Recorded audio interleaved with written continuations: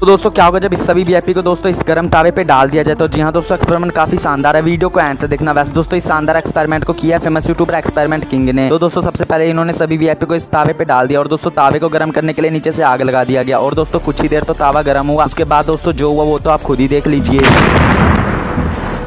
तो जैसा कि दोस्तों, आप सभी ने देखा ही, दोस्तों, कुछ ही देर वीआईपी गर्म होने पर ये फटने लगा। वैसे दोस्तों, ये शानदार एक्सपेरिमेंट आपसे कैसे लगा। हमें कमेंट में ज़रूर बताना। ऐसी है एक्सपेरिमेंट देखने के लिए प्लीज़ चैनल को सब्सक्राइब कर